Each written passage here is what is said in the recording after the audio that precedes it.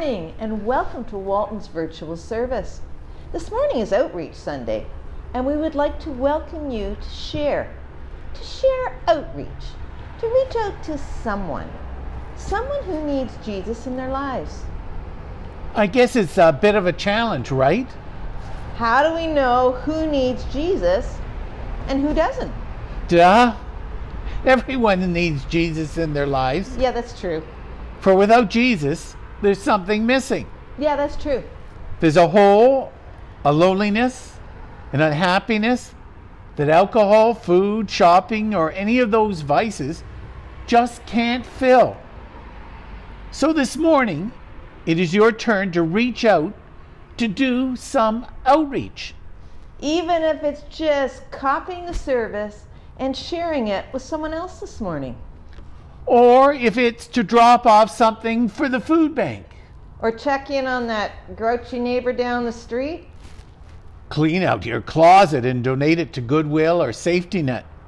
Or buy a coffee for somebody who's working outside. It's pretty cold out, you know. Call and tell someone you miss them. Or drop off some muffins to a senior who doesn't want to bake for just one person. You know, Reach out reach out today. on this Outreach Sunday.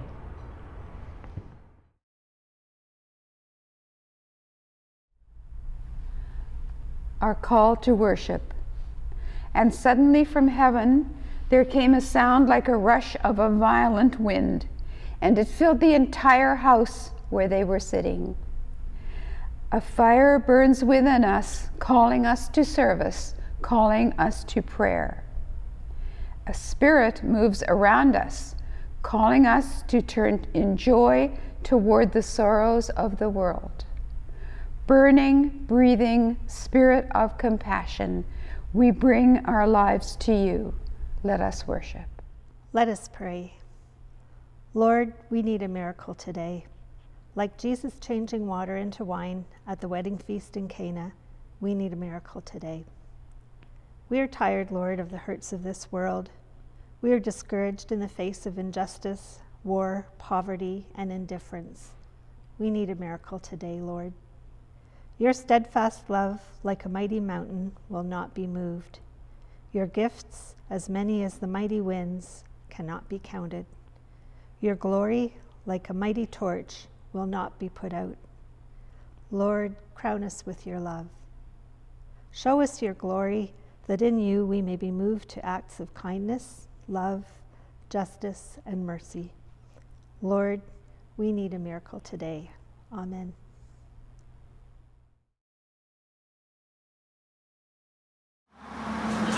Good morning.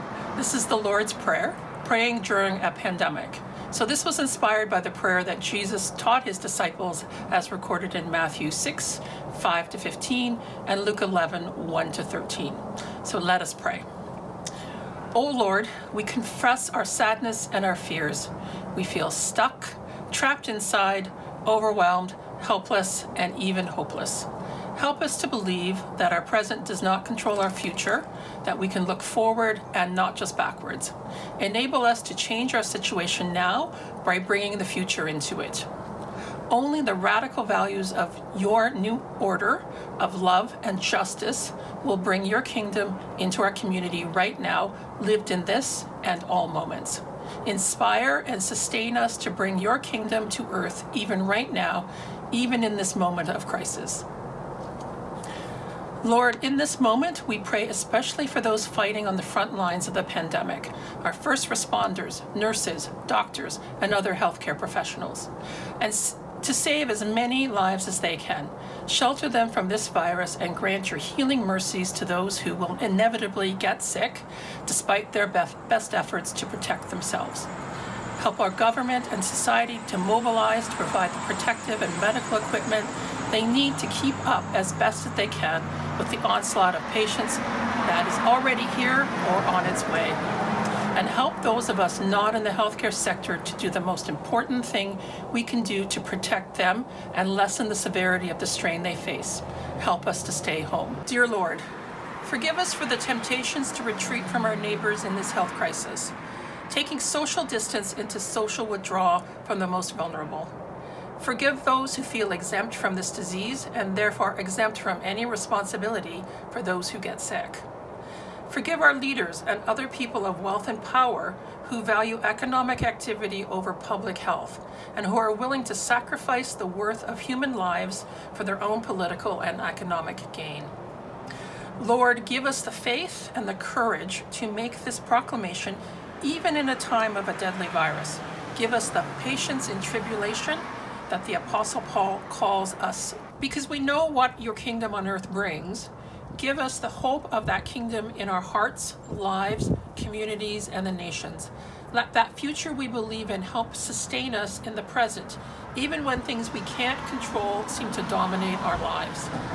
Lord, help us to believe that the virus, the threats, the injustices, and the fears they create are not in control and never will be. For thine is the kingdom, and the power, and the glory, now and forever. Amen. Good morning, everybody, and how are you? Today in our youth story, we are going to do something that seems impossible because we're talking today in our scripture reading about Jesus' first miracle. And Jesus' miracles happened because through the power of God, he could do impossible things. Things like walk on water or rise somebody up from the dead or, like in today's reading, he turned water into wine. That's impossible. We know that. But Jesus took something ordinary and turned it into something extraordinary because of God's power. Well, today, I can't do miracles. Let me say that first. I wish I could, but I can't. But I can take something ordinary and do something kind of extraordinary with it, something that seems impossible. And I want you guys to try it too, okay? So I've got an ordinary piece of paper, just a letter-sized piece of paper. And what I'm gonna do is put my whole head through the piece of paper. Do you think I can do that? Sounds impossible, right? How can a head fit through a piece of paper? Well, I'm gonna give you a chance to figure it out yourselves. You can use scissors and you can hold the paper and fold it up and do whatever you want with it with scissors. But that's the only tools you can have. Let's see if we can do something impossible. This is a good time for you to pause the video, gather up some supplies, try it for yourself. And I'm gonna check back in a minute and see if you had any luck. How did it go? Did you get it to work? I bet you might have tried it the way I tried it the first time. Folded my paper in half and I thought I'm gonna cut a great big hole right out of the middle of the paper. That seems like it might work, right? Let's see. Cutting a big hole. And if your head is small enough, maybe this would work for you. But not for me. Nope. Okay, are you ready to be amazed? Check this out. Now, look at that. My whole head. And maybe, no, maybe not my whole arm, but definitely my whole head. It seemed impossible, but it wasn't impossible at all. Now, that was not a miracle. God did not tell me how to do that or give me the power to do that. Looking up instructions on YouTube did. But God gave Jesus the power to perform miracles. And even though we can't perform them ourselves, God performs them for us and he also performs them through us. Sometimes he uses us to be the miracle that somebody else has prayed for. When you love your neighbors, when you help them, when you're kind, when you put others first, you can be a miracle for someone else. And that's what I want you to remember today. Nothing is impossible with God. When things seem impossible, when you're struggling, when it seems like you whatever it is is never going to work out, pray to God. Ask Him for a miracle. But more importantly, listen to God and listen to how He wants you to be someone else's miracle. Can you do that? Let's say a prayer. Loving God, thank you for your amazing power and your incredible love. Thank you for the miracles you perform in our lives every day. Help us to pray to you, to turn to you when we need a miracle, and help us to be the miracle that somebody else needs. Use us to do your work. We ask this in your Son Jesus' name. Amen. Our scripture readings this morning are from John 2, verses 1 through 11, and the first book of Corinthians, chapter 12, verses 1 through 11. John chapter 2, verses 1 through 11. Jesus changes water into wine. On the third day, a wedding took place at Cana in Galilee. Jesus' mother was there, and Jesus and his disciples had also been invited to the wedding. When the wine was gone, Jesus' mother said to him, They have no more wine. Woman, why do you involve me? Jesus replied, My hour has not yet come. His mother said to the servants, Do whatever he tells you. Nearby stood six stone water jugs, the kind used by the Jews for ceremonial washing, each holding from twenty to thirty gallons. Jesus said to the servants, Fill the jars with water. So they filled them to the brim. Then he told them, Now draw some out and take it to the master of the banquet. They did so, and the master of the banquet tasted the water that had turned into wine. He did not realize where it had come from, though the servants who had drawn the water knew. Then he called the bridegroom aside and said, Everyone brings out the choice wine first, and then the cheaper wine after the guests have had too much to drink, but you have saved the best till now. What Jesus did here in Cana of Galilee was the first of the signs through which he revealed his glory, and his disciples believed in him. Our second reading is from the first book of Corinthians, chapter 2, verses 1 through 11, concerning spiritual gifts. Now, about the gifts of the Spirit, brothers and sisters, I do not want you to be uninformed. You know that when you were pagans, somehow or other you were influenced and led astray by to mute idols. Therefore, I want you to know that no one who is speaking by the Spirit of God says, Jesus be cursed, and no one can say, Jesus is Lord, except by the Holy Spirit. There are different kinds of gifts, but the same Spirit distributes, distributes them. There are different kinds of service, but the same Lord. There are different kinds of working, but in all of them and in every one is the same God at work. Now to each one of the manifestation of the Spirit is given for the common good. To one there is given through the Spirit a message of wisdom, to another a message of knowledge by means of the same Spirit. To another, faith by the same Spirit. To another, gifts of healing by that one Spirit. To another, miraculous powers. To another, prophecy. To another, distinguishing between spirits. To another, speaking in different kinds of tongues. And to still another, their interpretation of tongues. All these are the work of one and the same Spirit, and He distributes them to each one, just as He determines. This ends the reading of God's holy word. Have you ever realized that everyone can teach you something? And I mean everyone. You may need to be patient, to listen, to observe, and to reflect. But everyone knows something that can be an important les- lesson for us in the living of our days. One of my mentors uses the expression, here's what I know. I find when I listen, I learn an important life lesson. It seems many times, however, we want to impress others with what we know, rather than being open to hearing what others know. I find it so frustrating if you're watching a serious news show where the person being interviewed can never get a word in, for the interviewer keeps interrupting the special guest with what they know.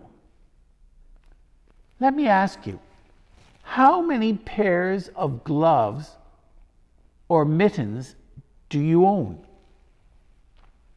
Think about it for a few minutes.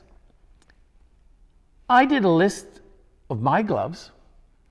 I have two pairs of tan work gloves, one pair of golfing gloves, three pairs of white cloth gardening gloves, one set of dish gloves, one set of black leather dress gloves for outdoor funerals, two sets of ski gloves for tobogganing, three sets of oven mitts, and of course, in these days, a box of rubber medical gloves. I imagine most of us have a similar list. How many pairs of mitts do you think a person living on the street or from shelter to shelter may have? Maybe one? And what condition are they in? Today is our annual Outreach Sunday. Every year, our Outreach Committee collects bags and bags and bags of gloves, mitts, scarves, toques, hats in all sizes, from kids to adults, so people can have warm hands and heads. And don't forget the warm socks that we collect too.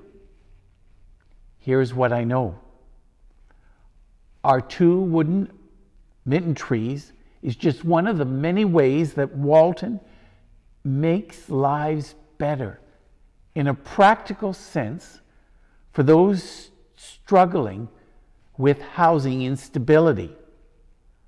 We could say here at Walton we have a hands on ministry. Though it's a very bad pun, it is nevertheless true that Walton tries to help in practical, one on one ways.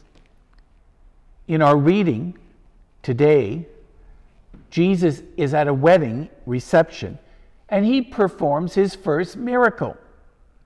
They run out out of vino. And Jesus turns the water into wine. Now, it's not any type of cheap box wine, we're told, but it's rather a rare vintage of exceptional wine. Here's what I know Jesus constantly does the unexpected we may feel in our lives that we are down to the last drop of the bottle of our living. But Jesus fills us up, fills up our empty souls and spirits with amazing new wine of possibilities and opportunities. In the story of Jesus' first miracle, there is a verse I think many miss when they're reading the text. They focus more on the wine, I guess. In this direction, it's the direction that Mary gives the banquet servers at the reception. John records it this way His mother said to the servants, Do whatever he tells you. Here's what I know Mary is right. John knew that too. So did Paul. His mother said to the servants, Do whatever he tells you. Wise advice as we begin 2022. Now to a very personal question. You don't need to answer. You may want to plead the fifth have you gained weight over COVID? They're called the COVID curves or the pandemic paunch. I don't know about you, but I certainly give thanks that our local grocery stores are still well stocked. Maybe they're not stocked like they were before March 2020 with as wide a selection or larger quantity, but you can usually find what you need. The real question when grocery shopping lately has to do with the sticker shock. When you go to check out, the prices, they seem to just be going up. And not just a quarter or 50 cents at a time, but an increase often of a buck or a two. Many of you who are watching this virtual service can certainly afford the rising cost of groceries, but many, many cannot afford these new higher prices. Even at Food Basics, let alone the new prices at Farm Boy. The Outreach Committee tries to create their own version of when Jesus fed the 5,000 with the fish and the loaves. As a church family, we strongly support the food bank, not just with donations of food, which can still be left to the church, but with the donations of thousands of dollars. These financial donations allow the food bank to buy in bulk the most needed products at the time. Walton feeds every day so many people because of our ministry with the food bank, our physical donations of items, and our financial donations. We also here at Walton have people in the congregation who volunteer helping the critical work of the food bank for those whose cupboards are very sparse. Our first Corinthians reading today, Paul reminds us this there are different kinds of gifts, but the same Spirit distributes them. There are different kinds of service, but the same Lord. There are different kinds of working, but all of them, in every one, is the same God at work. Outreach is just one of the many different opportunities Walton provides for us to walk in the footsteps of Jesus, helping others, both known and unknown to us. Here is what I know Outreach is our largest committee and does a very diverse ministry. And today we want to say thank you Thank you for those who serve in outreach and those who support it in one way or another. Well, soon it will be income tax time again. Have you been keeping all your receipts over 2021? The things you need to deduct, like medical expenses, to prepare your taxes? Some of us have accountants to prepare our taxes. Other people can do it all by themselves. But there are those who can neither do income taxes themselves or afford to pay others to do their income taxes, to get them ready to submit. Many government benefits cannot be received each year unless you submit your taxes each year. The Walton Outreach Committee has a team of volunteers who help those with modest incomes to file their taxes. This is a free service to those in the congregation and those in the many communities that we serve. Another way that Walton helps in a hands on manner. Even during COVID, this tax preparation program has continued in March and April I sit in my office, I look out my window, and I see members of the outreach team doing people's taxes while socially distanced in the Walton parking lot using their car hood or their trunk as a table. This is what I know. Walton is helping people one on one. And what a practical service this is to prepare taxes. Did you receive any unusual Christmas gifts this year? This is one of the Christmas gifts that I received. It's an apron. You see, I am blessed to be able to work in the Walton's new commercial kitchen almost daily. And I always wear an apron when I'm washing the dishes. I pray many of you later in 2022 will be able to spend time in the new Walton commercial kitchen as well. Well, this gift apron has upon it a ketchup bottle. The bottle says, Catch up with Jesus. Let us praise and relish him because he loves me from my head to my toes. Try that again. My head to my toe, mat toes. I pray we can finally have a barbecue this September 2022 for Rally Day. And I will wear this apron, and I'm sure I will get many tomatoes and relish and mustard on it.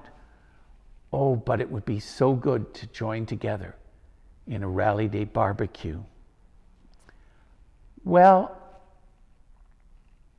there's another important hands on Walton ministry, and it involves making sure many, many families, including kids, both young and teens, receive Christmas gifts on December 25th. Maybe not unusual aprons, but gifts for those who live on meager income. Gifts that they will truly relish. Our White Gift program reaches many families, allowing them not only to have a better Christmas, but really even to have Christmas gifts at Christmas.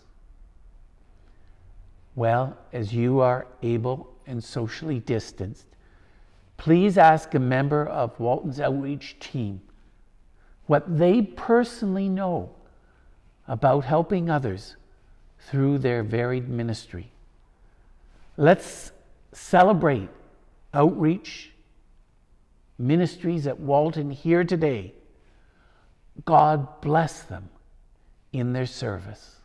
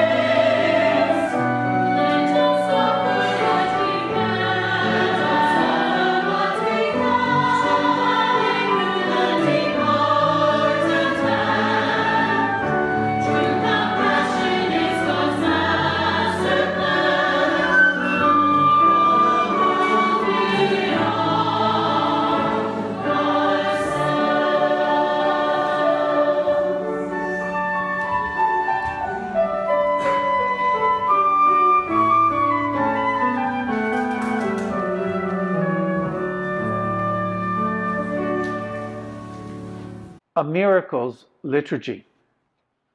This is a thought provoking litany exploring faith and doubt and the miracle making of Jesus. It comes from Grace Church in London. Lord God, you spoke into darkness and chaos, and then there was light. You imagine this earth in its complexity and beauty, and you called it into being. You created humanity in your own image and gave us a home to live in. We believe you can do miracles. But even if you don't, you still are God. Lord God, you walked with Shadrach, Meshach, and Abednego through the fiery furnace. You shut the mouths of hungry lions and kept Daniel safe until morning. You gave Hannah a family when she despaired of ever having a child. We believe you can do miracles, but even if you can't and you don't, you are still God. Lord God, you changed water into wine so the wedding party could continue. You calmed the storm and your disciples with a word of quiet authority. You transformed a boy's panic into a meal for a multitude with plenty left over. We believe you can do miracles, but even if you don't, you are still God. Lord God, you healed a woman from 12 years of bleeding and rejection. You asked Bartimaeus what he wanted and then restored his sight. You watched a paralyzed man being lowered through the roof and helped him to his feet. We believe you can do miracles, but even if you don't, you are still God. Lord God, you called Lazarus from the tomb and restored him to life.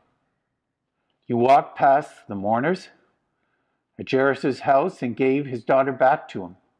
You suffered a horrendous crucifixion in order to defeat sin and death and give us life. We believe you can do miracles, but even if you don't, you are still God. Lord God, you told your disciples that they would do greater things than you had done. We hear and read stories of miracles in our world, of you healing the sick, setting prisoners free, releasing drug addicts from their addiction, providing the right amount of money at just the right time. We believe you can do miracles, but even if you don't, you are still God. And yet, Lord, we don't see many miracles happening around us. We have friends with cancer, and we pray, and they are not healed. We have friends who long for children, and we pray. And they and do not conceive. Our doubt is mixed with faith. Our trust is accompanied by questions.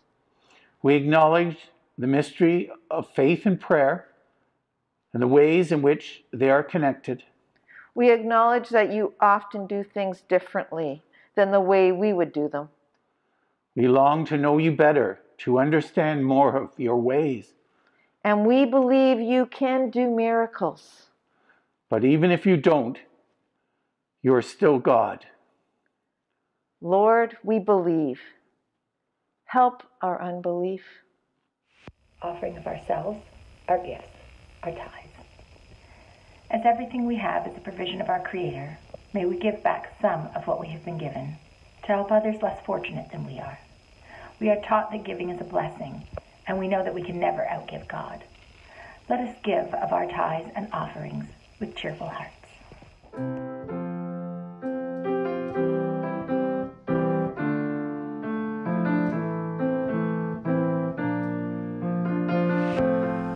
Gracious God, you bless us with such an abundant supply. Our every need is met, and with our cups overflowing, we thank you. Please accept our offerings so that they may be used for the building of your kingdom here on earth. We ask that you show us the ways that we can best serve you and use these gifts we offer to glorify you. In the name of the Father, the Son, and the Holy Spirit. Amen.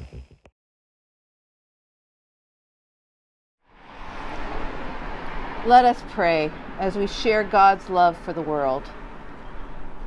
God, our holy friend, you allow us to share some of your love for the world. While we are here praying for the world's healing, others are busy implementing that healing. Later, when we are out there trying to give of our best, may others remember to pray for us. Give your grace to all peacemakers, those who endeavor to resolve with justice all conflicts between nations and within communities, commerce and industry, parliaments, families, marriage partners, colleagues, and friends. Let your grace support those who fight with and for neglected people, those small ethnic groups with no political clout, the little people who are being ripped off by the rich and unscrupulous, and the deserted wives or husbands who are raising a family alone. Endow the merciful folk with your sustaining grace, those who treat diseases, bind up wounds, feed the hungry, resettle the homeless, care for the orphan, visit the prisoner, encourage the handicapped, watch with the dying, and grieve with the sorrowful. Endorse the work of this church with your enabling grace. Keep it close to the agenda of Christ. Let us be joyful in worship, warm in fellowship, inclusive in outreach, open in discussion making, humble and sensitive in evangelism, and gracious in our ecumenical endeavors. Bless any servant of yours who is keeping the faith against the odds, those without the encouragement of other Christians at hand, or without even a distant congregation that can pray their names with affection. Please let your grace renew them daily, and may they know your Spirit as friend and counselor. Visit each one of us with your grace, loving friend. Dismantle our fears, build up our faith, deepen our love, clarify our goals, sharpen our insight, widen our compassion, and open our minds to the new words you wish to speak to our situation. In the name of the patient, insightful, and healing Christ, we offer these prayers. Amen. Let us receive the benediction. Go now from this place, remembering that the God who calls us to mission also calls us to feasting and dancing. Let us remember that there are holy days described in the Jewish texts in which there is to be no fasting, but eating, drinking, and sharing of miracles.